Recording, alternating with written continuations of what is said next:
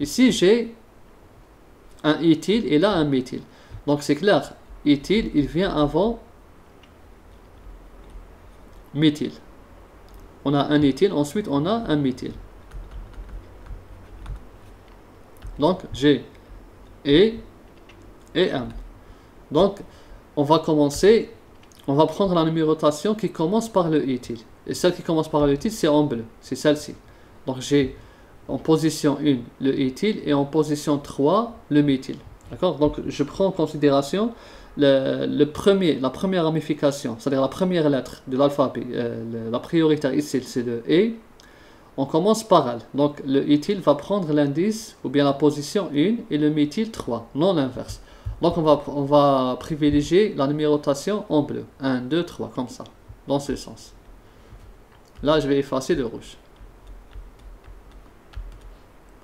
Et enfin, je donne euh, la nomenclature systématique de cette molécule. Donc ça va être 1 éthyle, 3 méthyle, cyclo, pentane. Voici la nomenclature systématique de la molécule selon l'UPAC. On fait un deuxième exemple. J'espère que vous avez bien compris ici pourquoi j'ai choisi euh, le 1-3 comme ça. Parce que le éthyle vient avant le méthyle. Donc, puisqu'il vient avant le méthyle par ordre alphabétique, donc le éthyle doit avoir la plus, faible, la plus petite position possible, tout simplement. On fait un autre exemple. On prend cette molécule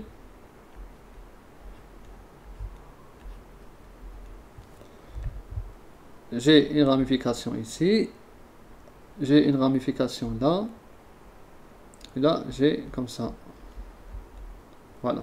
Donc là, la première étape, déterminer la chaîne principale. Regardez là, là j'ai 2, là 1, et là 1, 2, 3, 4. Par contre, le cycle, regardez, 1, 2, 3, 4, 5, 6. Donc, la chaîne principale, c'est quoi? C'est le cycle A6. Donc, c'est un cyclohexane. Maintenant, les ramifications. J'ai combien de ramifications? J'ai le éthyle, le méthyle et le 1, 2, 3, 4, le butyl. Donc j'ai trois ramifications, éthyle, méthyle et butyl. Maintenant, euh, dans les numérotation, là aussi j'ai l'embarras du choix. Je peux commencer comme ça, comme je peux commencer comme ça. Il faut prendre la plus, euh, il faut suivre le chemin le plus court entre les ramifications. Donc je ne vais pas faire comme ça comme les, je vais pas faire comme ça. Non, c'est faux parce qu'il y a deux atomes de carbone entre les premières ramifications. C'est faux. Donc je préfère, donc de préférence, je vais faire soit comme ça, d'accord? Soit comme ça, soit comme ça. L'un des deux. On va voir mais ensuite la position la plus faible des ramifications. Je commence par euh, de gauche vers la droite. D'accord? Gauche vers la droite gauche vers la droite. Bon, je vais faire juste euh, la, flèche comme ça pour, euh, pour ne pas encombrer les choses. Euh, donc ça va être comme ça.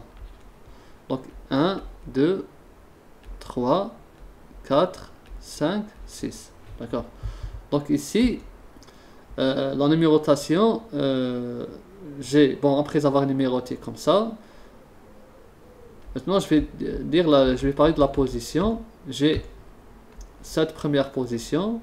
Donc j'ai 1, 2 et 4. Ça donne 124. Sinon la deuxième numérotation, je commence par là. 1, 2, 3, 4, 5, 6. Donc j'aurai ça. 1, 2, plutôt 1, 3 et 4. D'accord? 1, 3 et 4. Donc ça, 1, 3 et 4 ça donne le, nombre 134. Donc c'est clair, 124 est plus faible que 134. Donc dans ce cas, on va prendre la numérotation en bleu. Donc c'est le sens en bleu, c'est-à-dire c'est ce sens. Le sens euh, rouge, il est faux. D'accord? Donc le sens rouge, il est faux. Donc on prend le sens bleu. J'efface en rouge. Maintenant, euh, j'ai les, les, trois ramifications.